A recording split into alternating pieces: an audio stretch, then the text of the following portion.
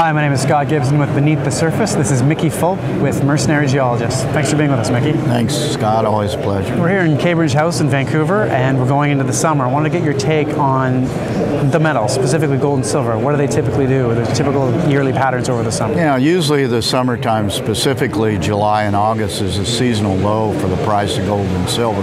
So, with a recent correction, it does not look good for the immediate future, not only in a technical uh, uh, chart scenario, but also the seasonality. So I always look for buying opportunities in July and August for the gold and silver markets. And I, I see no reason to think that won't happen again this year. And what about the stocks? How do they typically react over the summer? Sometimes they lead, sometimes they follow. What's your take? The general scenario is the summer doldrums, but usual, the usual scenario is sell in May and go away. Well, obviously, no one's selling in May, but no one's buying either. So we're, we're faced with a very illiquid market right now, with volume something on the order of only 40 million shares a day, and that's that's horrendous compared to in the bull market, 200,000 or 200 million shares a day were, were common. So. Uh, what I expect to happen this year is is a very long and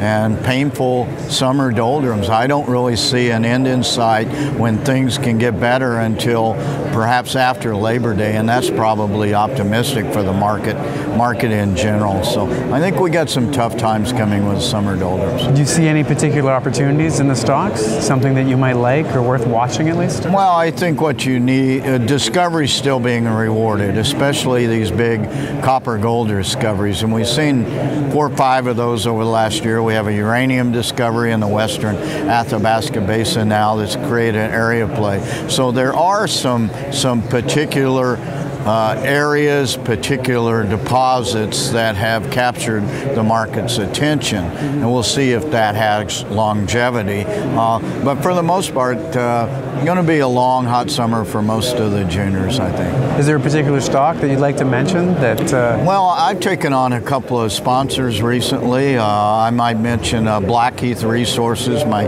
tungsten play. Perhaps we've talked about that before.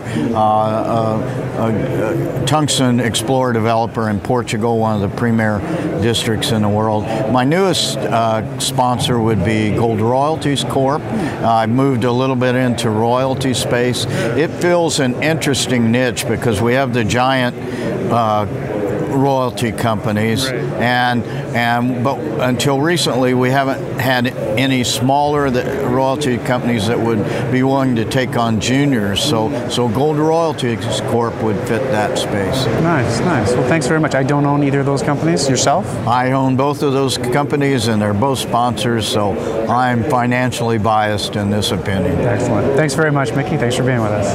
Again, that's Mickey Fulp, mercenary geologist. My name is Scott Gibson with Beneath the Surface. Thanks for being with us.